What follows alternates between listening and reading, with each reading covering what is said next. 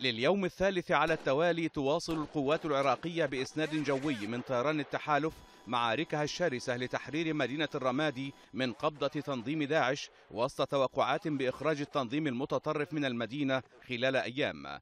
العمليات الجارية الآن في المحور الشمالي حقيقة اللي يعتبر أخطر وأصعب محور قطعاتنا صار لها أشهر حقيقة تخوض معارك ضروس في هذا المحور. قدرت أن تحقق أهدافها النهائية وصولا إلى جسر فلسطين وإلى مقر قيادة العمليات وعلى الضفة مال الفرات.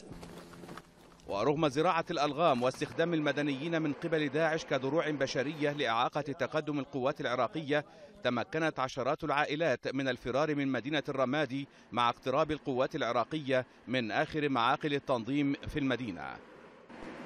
تطور يأتي بعد دخول قوات النخبة العراقية إلى مركز المدينة من المحور الجنوبي حيث تمكنت من فرض سيطرتها على عدد من أحياء مركز محافظة الأنبار.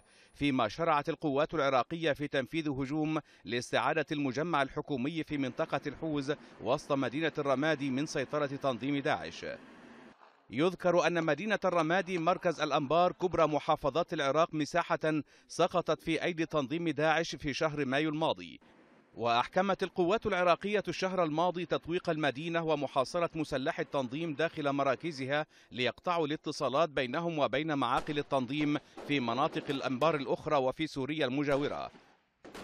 وإذا ما تمت السيطرة على الرمادي فستكون ثاني مدينة كبيرة بعد تكريت تسترد من أيدي التنظيم المتشدد في العراق الذي استولى على نحو ثلث أراضي البلاد العام الماضي.